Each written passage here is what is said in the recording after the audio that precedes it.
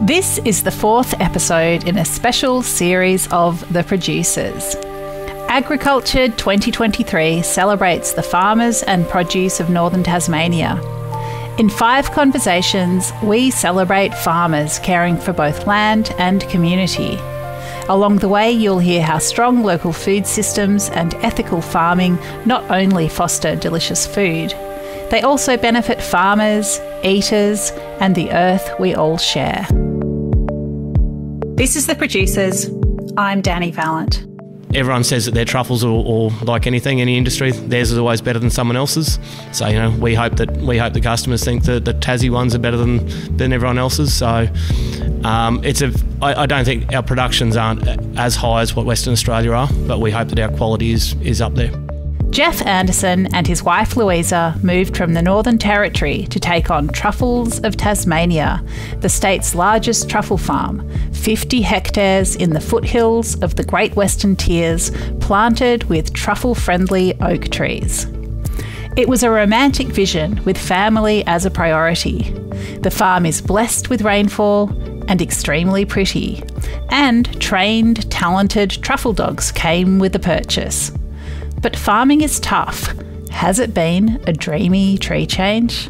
We uh, my name is Geoff Anderson, and we're at Needlesdale, which is Needles, which is about ten kilometres out of Deloraine, so northwest Tassie. We um, it's the original for this for this area. It's actually got the original old house, um, and it ran all the way down to Needles as an old railway siding. We primarily we've got uh, um, truffles, so there's around about 75 acres of truffles. Um, it's currently the largest truffle farm in um, in Tassie. So it was a, it was the second largest in Australia there at one stage. I'm not sure what's going on in Western Australia anymore.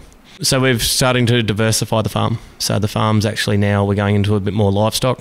Um, also, so there's obviously grazing, and there's also um, uh, improved pastures. So there's a few crops that we've done in the past. So, but primarily it'll end up being um, back to cattle and um, and truffles. Most people don't know an awful lot about truffles, and even those that farm them soon learn that they're a mercurial crop. How did a Northern Territory Sparky come to buy a truffle farm in northern Tasmania? Um, so my wife and I we bought the property um, nearly two years ago. Uh, we were actually in, lived in Northern Territory. Um, I'm an electrician, so we had an electrical business up there. Um, and there was a slight tree change that we did. We've got we had two, we've got two young children, so we decided that we um, needed to prioritise education, and so we made the big move down to Tasmania. We landed in Tassie before um, before COVID. We came down here for a 40th birthday of a close friend of ours, and by the time that Louisa left, she was harping on me, "Let's move to Tasmania." So it was sort of it moved from there. There was with COVID lockdowns, Northern Territory and Tassie obviously didn't have weren't affected as badly with COVID. So yeah, we we were down here doing holidays quite a lot. Um, we had purchased a property previously in Tassie, so then we decided that this was what we were going to do. So we eventually we pulled the pin in Northern Territory and moved down here.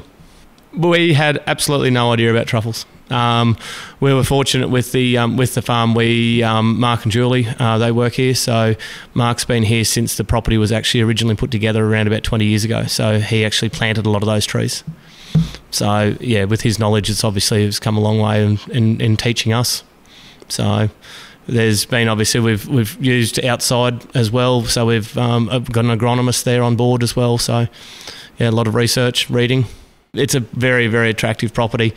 It's from a rainfall point of view, it's it's got a very it's a fairly safe safe property where it is. It's got the Western Tiers just sitting right there, so we are we're slightly colder, but we're also a fair bit wetter than a lot of other regions. So it was well. There's no such thing as safe farming, but we were we were aiming for something that actually had you know slightly on the safer side of it for for climate. So the truffles were there, and as I said, we, we knew nothing about them, but we're, we're not scared of a challenge, so off we went. How's the learning curve been? Steep. Steep. Um, yeah, it's been, it has been, it's, it's been the sort of thing that we started from zero, so I suppose we could hopefully only go, go up from there. So it's been an education, and like anything, you never stop learning. Truffles aren't like the Northern Territory's mangoes. You can't see them growing, and you never quite know what the crop is going to be like.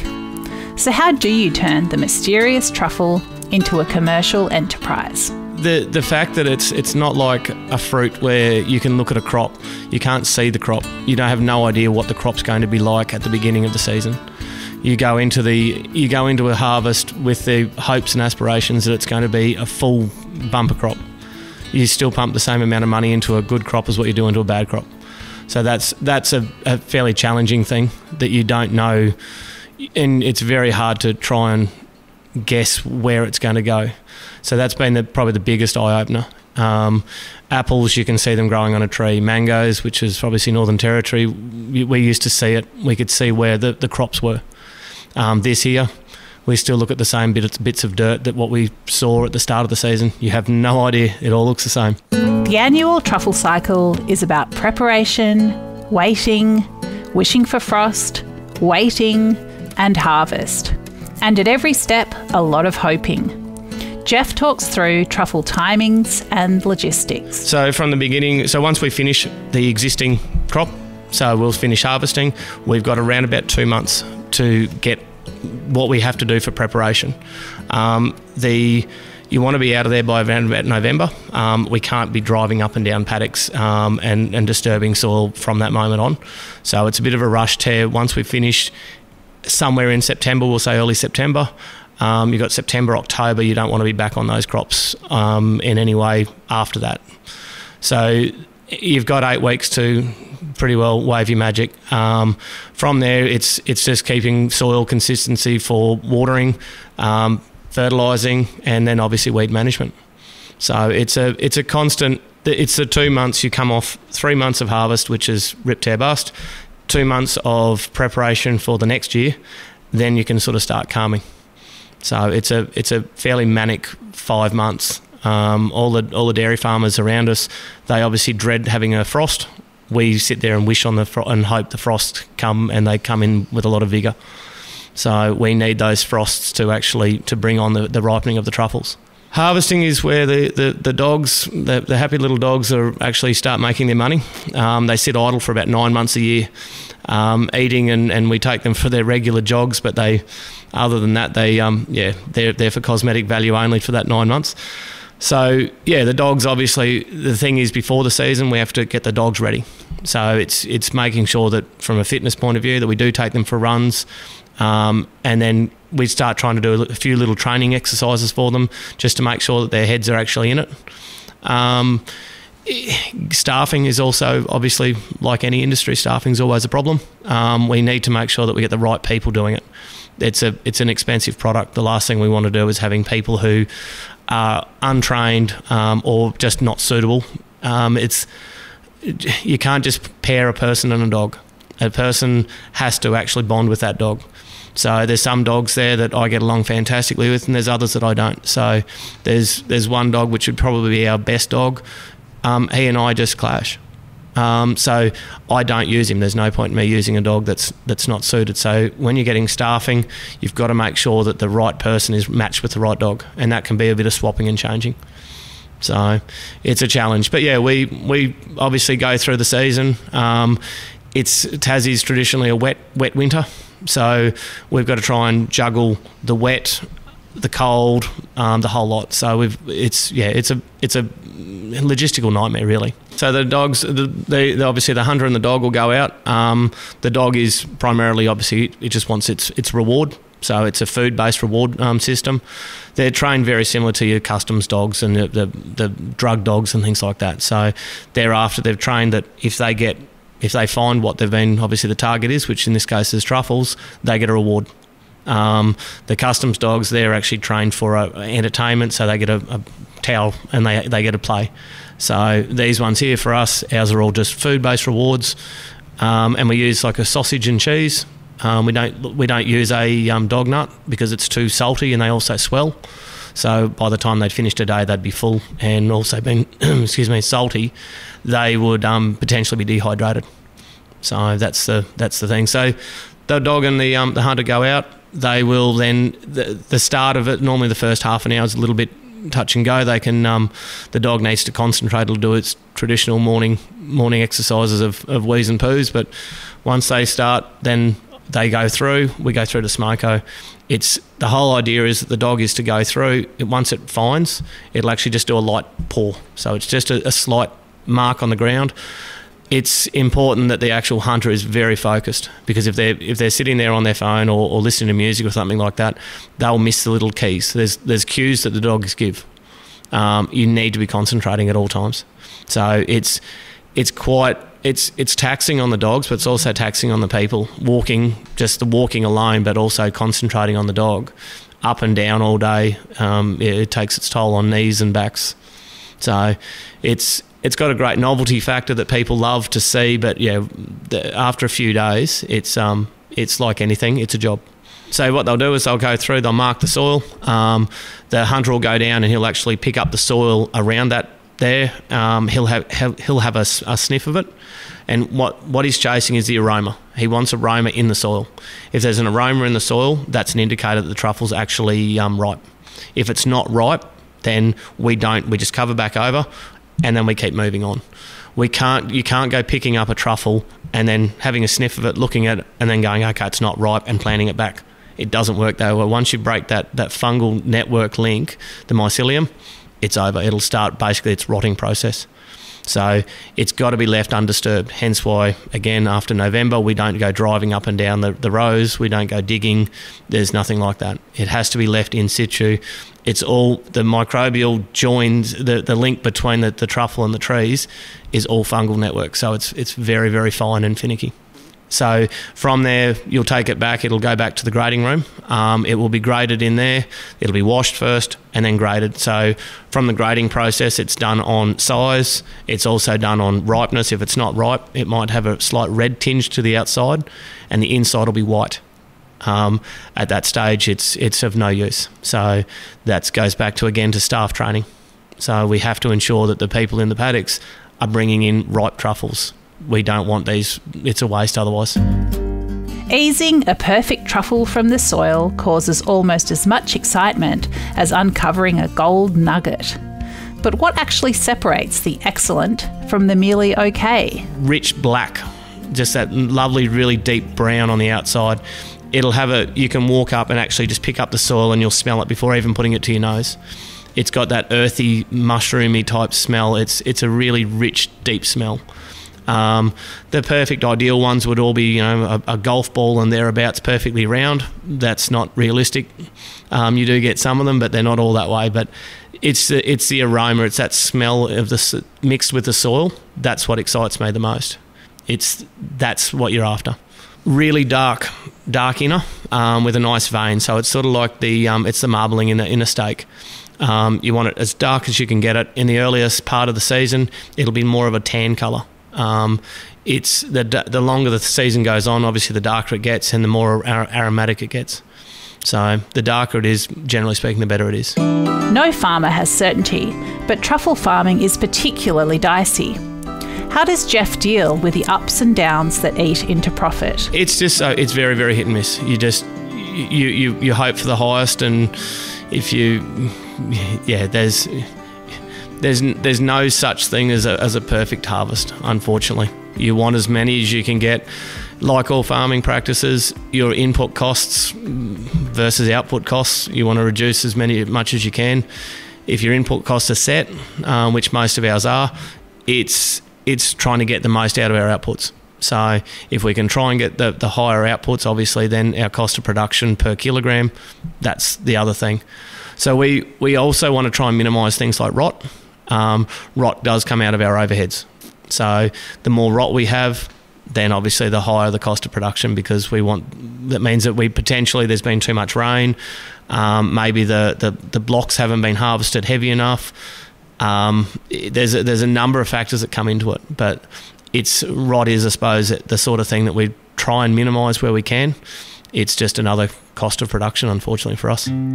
Truffles are quick to spoil What did Geoff and Louisa do with their trimmings, and which truffle products are best for farmers and consumers? So we do um, a series of salts. Um, obviously, the, the product with, with truffle, the, the disadvantage, I suppose, for us is that it only has a shelf life of a couple of weeks. So once when it comes to fresh, um, when it's out of season, that's obviously out of the question for um, what we can do with the truffles. We do use freeze dry. So with freeze dry, it can obviously extend the life for a couple of years. Um, it will reduce the, the physical quantity of it down around about 80%. So we lose a lot of the volume and a lot of the weight. Um, so from our point of view, it's you know it's an it's an expensive product that ends up becoming even more expensive because obviously that loss of, of 80% of the, of the volume. Um, the advantage is it can become a staple in the pantry. It can be left in the pantry for a couple of years. People can use it on the likes of pastas and steaks. That moisture, um, the heat and the moisture from the food, that actually helps to reconstitute, and the heat starts getting the um, the taste back in. So it's you know it's great for people travelling. There's we get a lot of people come to the farm. They go obviously they buy it, but it's it's a nice small compact thing that they can use then at any stage. So regardless of seasons. Um, the salts, obviously, there's a range of salts as well, um, and they're fantastic. As I said, the, the tradie in me says that things, anything when it comes on steak, is always good. Steak, mashed potato, the pepperberry salt, uh, the pepperberry salt is fantastic for that. It's um, again, I, I let my wife cook all that sort of thing because it would be end up being probably charcoal if I cooked it. Uh, but yeah, no, she's it, it's amazing what that can do as well. And again, it's any time of the year. Growing, harvesting, and grading truffles is the foundation, but produce needs to get to market. How does that work here? So obviously, there's there's a few different ways that we can do um, we, what we can do with the, the actual product. We can go direct through to the um, to the end user or the um, the restaurants. Um, so that's that's the ideal way. It's it's obviously the ad, the advantage is for us is that we end up with um, relationships direct through to restaurants and chefs. We can also obviously uh, the the general public. So we try and we also obviously encourage people to buy direct from farm. Um, again, they end up with a product that's slightly cheaper for them, um, and obviously we cut out, cut out, it cuts out middlemen, and then obviously there's a wholesale market as well. So the wholesalers are there. It's it's it's another thing. It's it's great. The the relationships with them are fantastic because they can obviously move quantity. So they're there to make money, so are we. So, which is it's a it's a mutual bond with us. So, the last of them is we can then do um, product. So we obviously have product that we sell direct on, on farm. So and we do markets and things like that. So these yeah it's a it's a mix. There's a, obviously different ways that we try and um, that we try and market and promote our product. It's often the case that farmers find a whole new level of appreciation for the produce they work so hard to get to market when they eat it in a restaurant. Geoff shares a key experience at Hobart restaurant Peppina. We went to Massimo's um, Peppina down at Battery Point. Um, and that was the, the first time that we truly experienced what they what you can do with them. Um, what he he's a magician when it comes to food. So what that was the one true thing. He um, what he did. I'll, it'll be a meal that I'll never forget. So that's that's what I compare truffles to now. That's my memories. If someone asks me what truffles taste like, it brings me straight back into Peppina. The day that he walked out there and shaved truffles um, at our table, that's that was the day. So it was the irony was the people next to us actually put a complaint in that they got more truffle. Why did they get so many truffles? And he explained to them that they own the truffle farm. So it was um, it was quite amusing to see someone complain that someone else got too many truffles. It was the um, it was the the aroma. It was the the aromas more than the taste even for me. Um, and that was the thing that yeah, that got me was the yeah it was the aroma and what it does is just it completely just finishes off a meal. Life on the land is not easy, but it's a life Geoff and Louisa are glad they've chosen for their family. What are the ups and downs? Like anything, like and especially farming, goods and bads. Um, it's it's that. I sometimes you sit there one day, some days, and think. And I said to the accountant there not that long ago, I said I think that farming is probably the worst business model in Australia in the economy, um, and I think every farmer probably agrees with that. Um, we we laugh about it with her next door neighbour. Um, he's a dairy farmer, and he laughs about the um, the impact of farming and whatnot. But It's it's given our kids. We've got a um, ten year old and a thirteen year old. Um, it's given our kids something that you know that was an opportunity they never had. Um, we were Louisa and I were both brought up on properties in Queensland, so certainly not truffle farming, but it was yeah. It, it's it it gave us the opportunity to give our kids something as well, just to to experience that sort of thing. Um, my daughter here, she's got two sheep that are running up and down the paddocks here somewhere. Um, and apparently this week we're getting more lambs, I hear. But it's again, you know, we've got a 13 year old who drives, who can drive a car, manual ute around the around the farm. It's it gives that experiences for the kids. It's something that they that's something that can't be taken away from them. My 10 year old was teaching over Christmas. We had our um, our nieces and nephews and and um, the in laws here, and my 10 year old was teaching her 21 year old cousin how to drive a manual ute. It was quite scary because she'd only ever had one car lesson, car driving lesson in a manual, but it, nevertheless she she still gave it a crack. So yeah, it's given them a, a, a it's given the kids a lot of confidence. Um, it's probably given my wife and I a fair few more grey hairs, but um, it's something to. It's always something, as I said, always up for a challenge. Truffles are unique, which is the magic and the heartbreak. Geoff shares what he finds special about where he lives and what he does. There's nothing else that I can think of that is grown in that way. There's the, the risk from a from a production point of view, the risk that's involved in actually in getting those things that see people see on Instagram. You know, they they think I think that some people think that it's just a, a truffle farm. These things are almost growing like like apples. They don't. Um, the ones you see are, are, such a small percentage of the ones that are actually produced.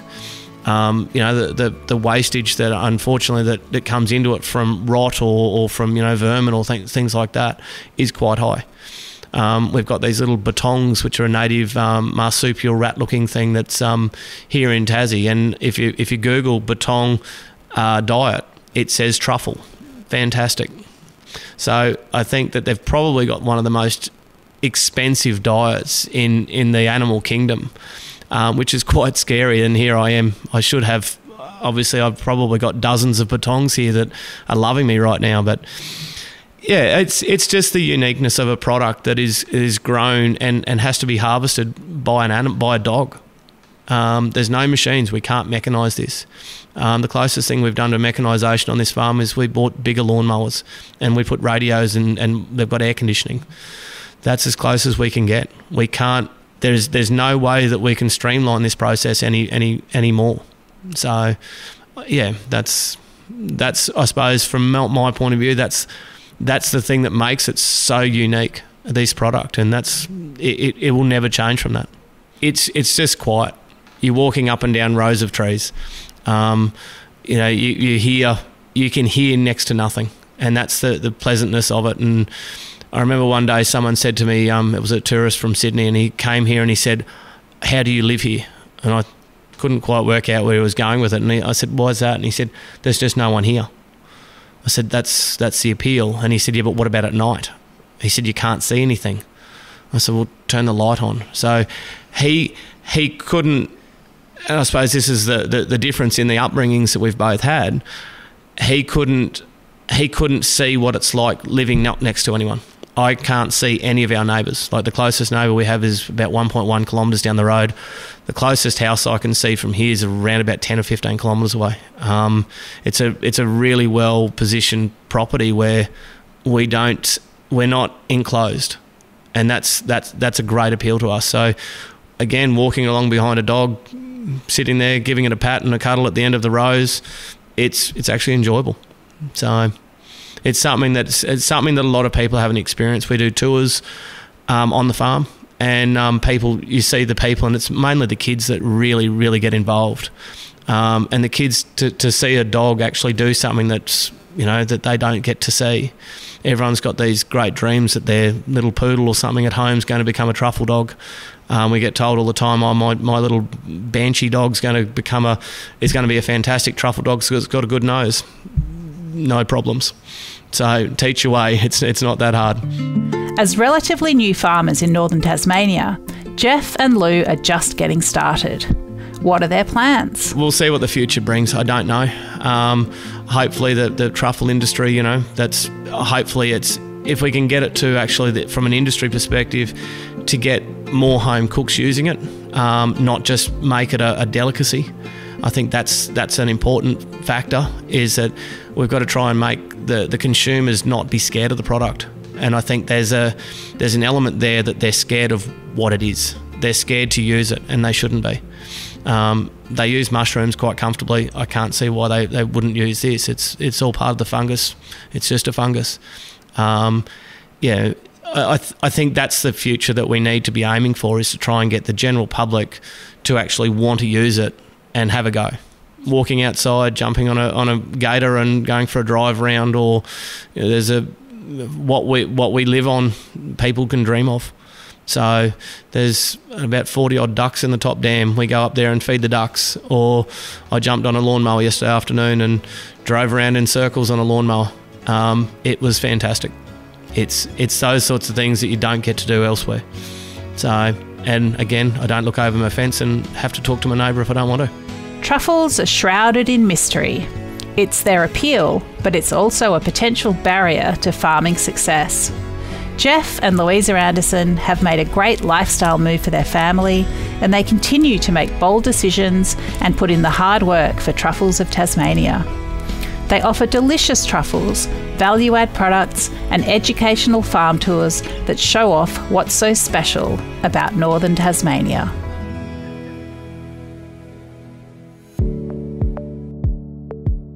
This is The Producers, a Deep in the Weeds production. I'm Dani Valent. Stay tuned as we talk to some of Australia's best farmers, makers, and growers. Follow us on Instagram at Producers Podcast or contact us via deepintheweeds.com.au.